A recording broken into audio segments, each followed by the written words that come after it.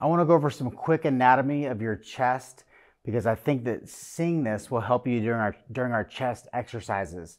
So your chest attaches as a whole from your sternum, it runs onto your clavicle, and then it attaches here onto your arm. So if you notice the line of pull from your chest is kind of at an angle. So it's not, it's not straight this way, it runs this way. This is where your chest runs. This is important because your chest acts to bring your arm in towards midline. So when you're doing a dumbbell press, what you'll commonly see, what somebody does, is when they press, they press the weight straight up. So they'll press just like they're going towards the ceiling, as opposed to bringing the dumbbell up and in or up and together. This motion of not only going upward, but also going in towards midline.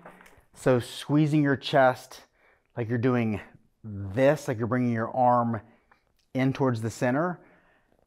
That's, that's where the magic's at. That's, that's how to activate your chest the most, whether you're doing a fly, whether you're doing a press. It's not simply moving linearly, it's moving towards midline. And I'm gonna continue to reinforce that during our chest exercises because that's how you're gonna get the most benefit. The other thing I wanna show you is how the angle of the rib cage impacts your chest. So this guy, he's got a relatively flat chest. So he's not, I have a broader chest. So for me, the angle of my rib cage pushes the fibers away from my joint axis. So the higher the angle of your rib cage is this way, envision it taking your muscle further away from the joint. The flatter you are, look at this band. See, the flatter you are towards here, the less away from the joint this band is.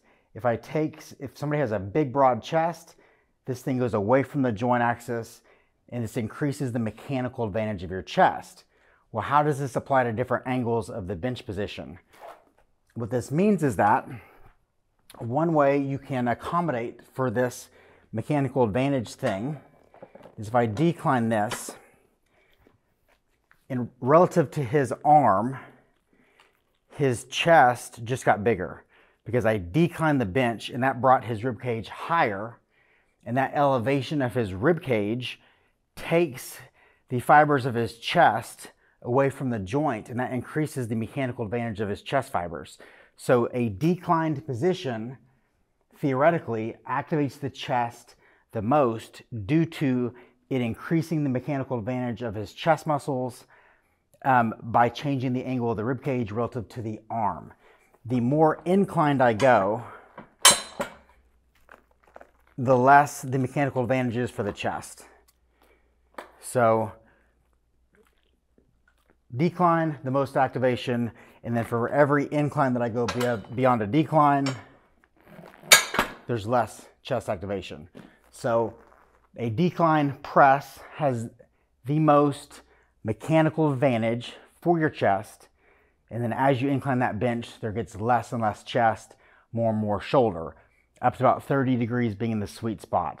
So we're gonna change all these positions. At the end of the day, all this means, don't get too fixated on this. I'm just, I'm basically telling you why manipulating angles changes how the chest contracts. Because I don't want you to think that we randomly change things. I want you to know why we change things. This way, when you're on your own, you can make decisions and know how to make these decisions because this is all anatomy based. That's what exercise is.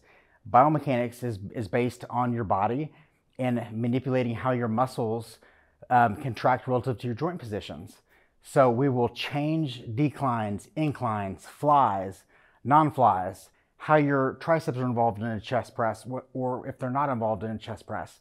These are all variables we're going to change throughout this program, and I'm excited to present these as we go through different exercises a little bit more specifically.